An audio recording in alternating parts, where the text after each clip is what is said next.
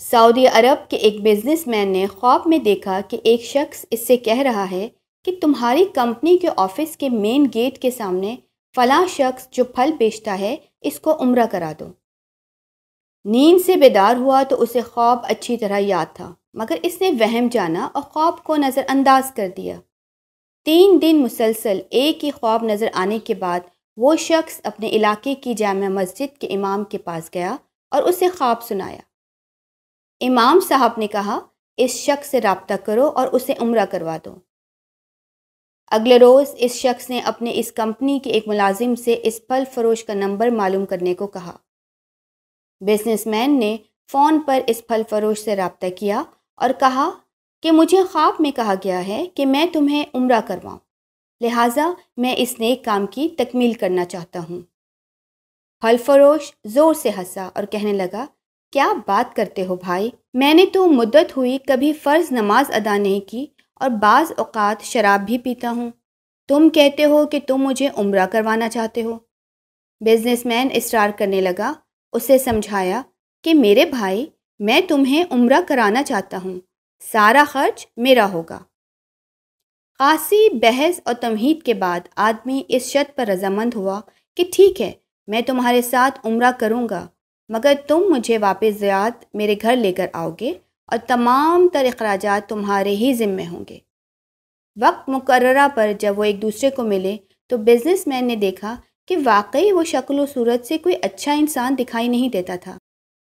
इसके चेहरे से आया था कि वो शराबी है और नमाज़ कम ही पढ़ता है। इसे बड़ा ताज्जुब हुआ कि ये वही शख्स है जिसे उम्र करने के लिए ख्वाब में तीन मरतबा कहा गया। दोनों मक्का मुकरमा उम्र के लिए रवाना हो गए। मेकात पर पहुँचे तो उन्होंने गसल करके एहराम बांधा और हरम शरीफ की तरफ़ रवाना हुए। उन्होंने बैतुल्लाह का तवाफ़ किया। मकाम इब्राहिम पर दो रकत नमाज़ अदा की। सफ़ा और मरवा के दौरान से की, अपने सरों को मुंडवाया और इस तरह उम्र मुकम्मल हो गया। अब उन्होंने वापसी की तैयारी शुरू कर दी। हरम से निकलने लगे तो फल फरोश बिजनेसमैन से मुखातिब हुआ और कहने लगा, दोस्त, हरम छोड़ने से पहले मैं दो रकत नफिल अदा करना चाहता हूँ। न जाने दोबारा उम्र की तोफ़ी होती भी है या नहीं।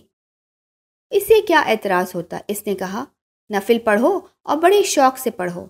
इसने इसके सामने नफिल अदा करने शुरू कर दिए। जब सजदे में गया तो इसका सजदा तवील से तवील तर होता चला गया।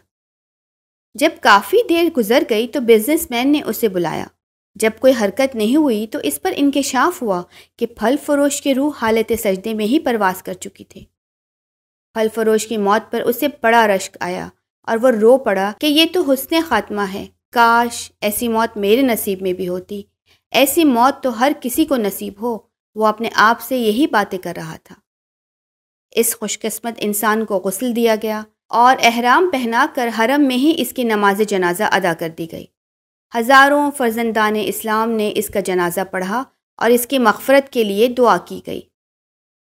इस दौरान इसकी वफ़ात की इतला रियाज इसके घर वालों को दी जा चुकी थी। बिजनेसमैन ने अपने वादे के मुताबिक इसकी मैयत को रियाज पहुँचा दिया, जहाँ इसे दफन कर दिया गया। बिजनेसमैन ने फल फरोश की बेवा से ताज़ियत करने के बाद कहा मैं जानना चाहता हूँ कि तुम्हारे शोहर की ऐसी कौन सी आदत या नेकी थी कि इसका अंजाम इस कदर उम्दा हुआ और उसे हरम में सजदे की हालत में मौत आई? बेवा ने कहा, भाई, मेरा खावन कोई नेक कार आदमी तो नहीं था और उसने एक लंबी मुद्दत से नमाज़ रोज़ा भी छोड़ दिया था। मगर इसकी कोई ख़ास खूबी बयान तो नहीं कर सकती?